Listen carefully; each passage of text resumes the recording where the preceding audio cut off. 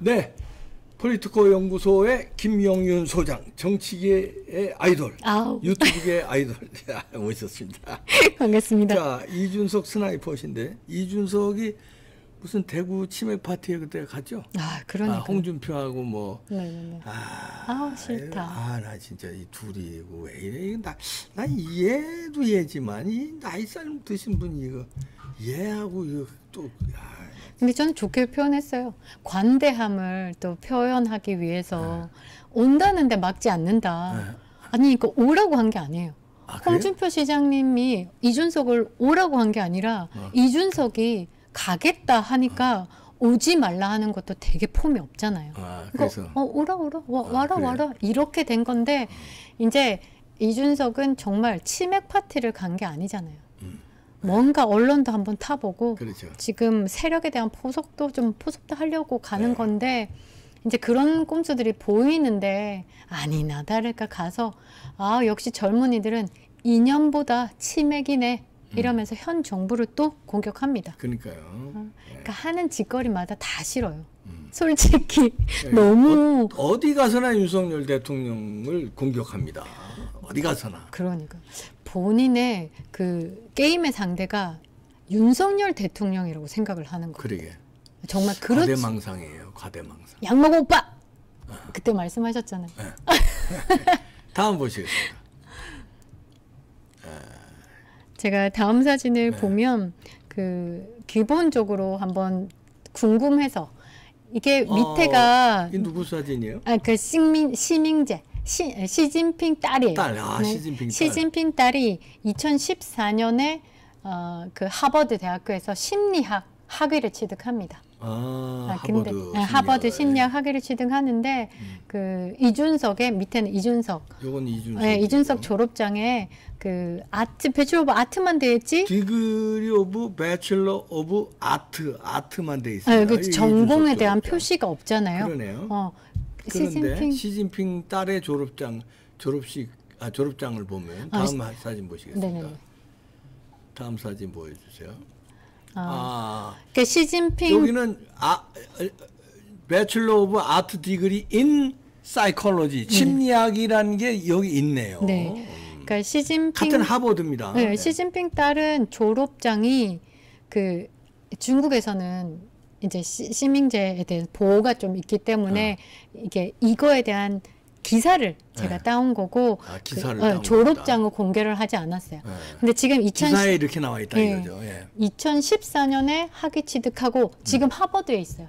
석사하기 위해서 다시 공부를 하기 위해서 지금 하버드에 50명의 경호인들과 공부를 하고 있습니다. 2014년에 졸업하고 지금은 아니 이준석은 몇 년에 졸업했죠? 2007년에 졸업 2007년. 네네.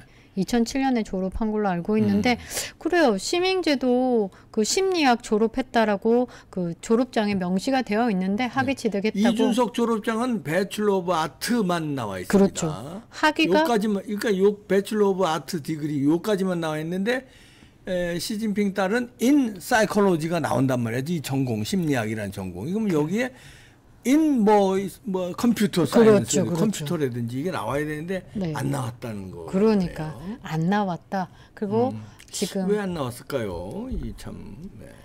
그다음 뭘, 뭘 전공했을까요? 이렇게 이제 제가 네, 뭘 전공했을까 궁금하다 해서 페이스북에 올렸는데 어, 지금 이거에 대한 답을 못 하고 있지 않을까. 음. 논문도 논문도 왜 갑자기 뜬금없이 지하철이냐 음. 그렇게 좋아하는 지하철에 대한 논문을 했는데 제가 그 부분에 대해서 2016년에 본인이 음. 페이스북에 올린 글을 쫙 있더라고요. 제가 이제 화면에는 안 띄웠는데 지금 조사 중입니다. 네. 거기에 개봉박도 어, 개봉박도 나옵니다. 여기에 처음으로 공개할 겁니다. 예. 지금 많은 자료 지금 섭외하고 있고 이제 또 하버드 측이랑도 이제 음. 소통을 하면서 이게 맞나 안 맞나에 네. 대한 정보를 받아야 되는데 하버드가 생각보다 그 회신을 받는데 좀 시간이 걸려요. 음. 아, 지난번에도 한 달 가까이 있다가 회신을 받았거든요. 그러니까 지금 이제 궁금 2016년에 본인의 페이스북에 올렸던 내용을 가지고 이제 음. 문의를 지난주에 했어요. 그러면 이제 어, 한 3주 차 있다가 회신이 오면 개봉박두 coming soon. 개봉박두 뭔가 이제 또 터집니다. 네.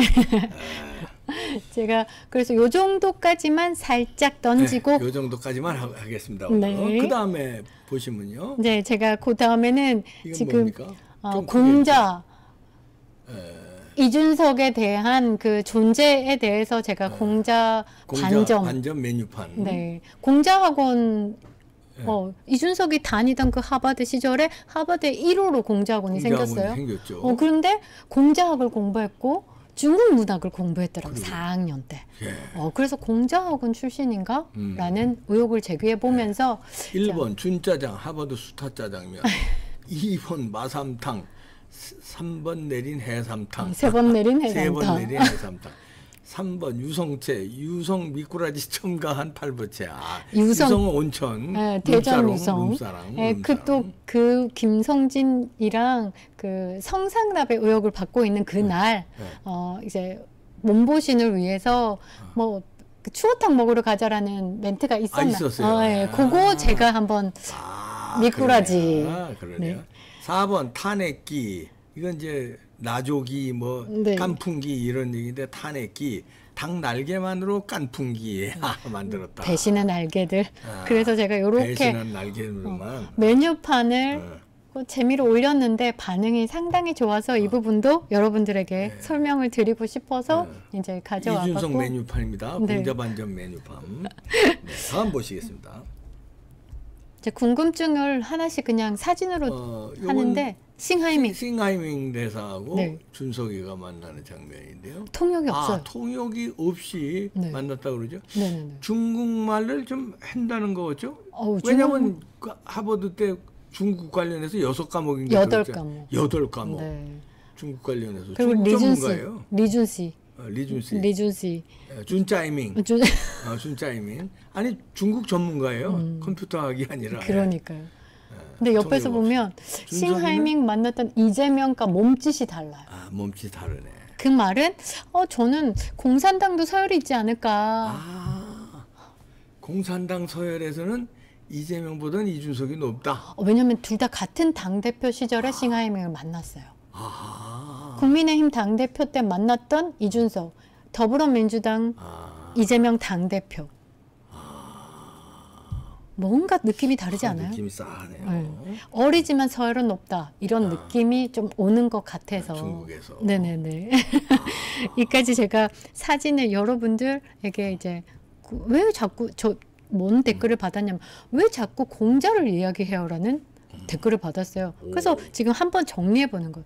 아 이준석이 아, 하버드대 다닐 때 공자학 공자학원이 그 전 세계에서 지금 중국 스파이를 배출하고 있다라고 네. 중국 정보원이 있다라고 지금 target을 잡고 음. 전 세계에서 없애고 있는 네. 상황에 공자학원을 하버드 다니는 그때 공자학원이 하버드 1호로 생겼고 그렇지. 4학년 때 공자학과 중국 인문학을 들어요. 음. 어 근데 중국과 관련된 게 하버드에는 중우 중문학과가 없어요. 동아시아 학과로 되어 있지. 음. 그러니까 그런 중국 문학에 대한 공부는 음. 다루는 데가 없잖아요. 그러면 혹시 공자 학원에서 그런가? 배웠나 어. 이런 얘기죠. 네네네. 그래서 어, 공자와 어, 약간 연결을 한번 시켜봤고 그 오랜 시간 동안 중국이 투자한 스파이들이 각국에 많다. 음. 그래서 지금 미국 같은 경우는 하루에 두 명씩 스파이가 발견되고 있어요. 네. 미국 같은 경우는 중국 스파이를 걸러낼 때 중국 피가 한 방울이라도 튀면 다 스파이로 보여. 봐요. 당연하죠. 어. 그리고- 엄격합니다 거기는. 네. 어, 너무 지금 상황에 너무 이게 산업 스파이뿐만 아니라 정말 너무 다양한 분야에서 그 정보를 네. 가져가니까 그래서 어, 들리는 소문에 의하면 이준석의 아버님 이수월 이수월의 그 관련된 화장품 사업에도 음. 그 리스트에 올라가 있다. 어. 화장품 사업도 왜냐하면 화장품도 어, 그 정보들이 있어야 되니까 음. 왜냐하면 그런 그 노하우가 있거든요. 이준석 아버지가 화장품 사업을 해요? 네. 그 중국하고 무슨 이- 네, 관련돼서? 뭐 아.